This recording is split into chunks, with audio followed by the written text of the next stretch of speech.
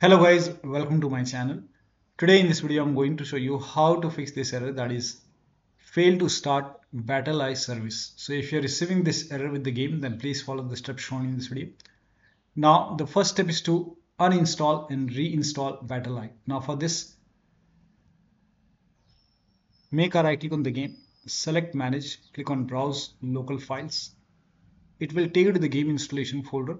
Now open BattlEye folder here you can see uninstall BattlEye option. Make a right click, click on run as administrator. Click on yes to allow. Now here you can see install BattlEye. Make a right click, click on run as administrator. Click on yes to allow. And once this is done, now you can launch the game and then check you should not receive this error anymore but still you're receiving the error the next step is to uninstall BattlEye so again same location. Here you can see uninstall BattlEye make a right click and then click on run as administrator. Click on yes to allow. This time do not install BattlEye from here. Instead launch the game. During the launch it will install BattlEye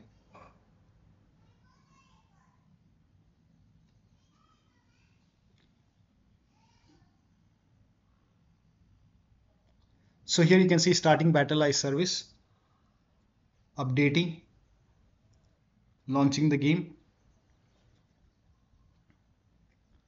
and you should not receive the error message anymore. During the launch, it will install the BattlEye.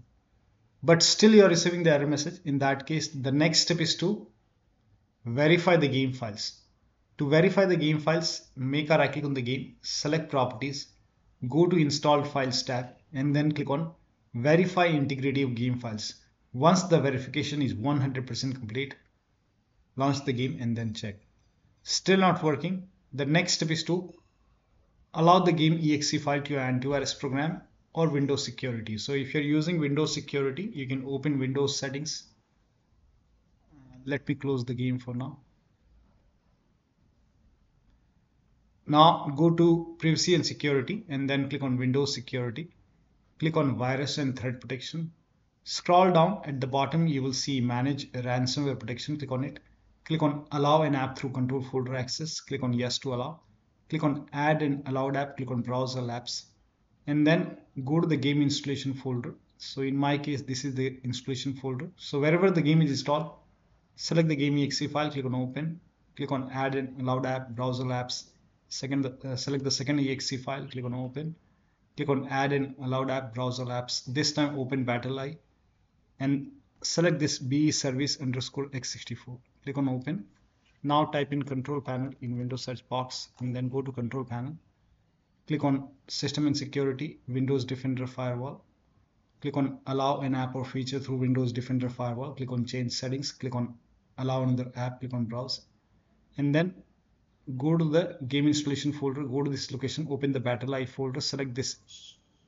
And then click on open. Click on add. In my case I have already added. Again click on browse and then go to destiny 2 select this open add again click on browse and select this one open add. In my case it is already added. So once added now you can launch the game and then check. Now if you have any third-party antivirus like avast norton bitdefender mcafee whichever antivirus program you have allow the same exe file to your antivirus program. Also uh, you can just go to the game installation folder once again. Browse local files and open BattlEye and you can just make a right click on this and run as administrator once. And now you can launch the game. Go back. Also try to launch the game from the game installation folder. So make a right click and then you can click on run as administrator and then you can launch the game and then check Next step is to update Windows to the latest version. This is important. So open Windows settings, go to Windows Update or Update in Security, then click on Check for Update. Once all the updates are installed over here, restart your computer. Restart is a must. Restart your computer once and then you can check. Now the next step is to uninstall and reinstall the game to different drives. So if nothing is working, you can make a right click, select manage, click on uninstall. Now after the uninstall, go to the game installation folder and then delete the game folder, restart your computer and then install the game to C drive. So if the game is installed to D drive or E drive or any external drive, try to install the game to C drive and then check. If the game is already installed to C drive, then try installing the game to another SSD and then check. So one of the steps shown in this video should help you to fix this error. So that'll be all. Thank you so much for your time and please like this video and subscribe to my channel.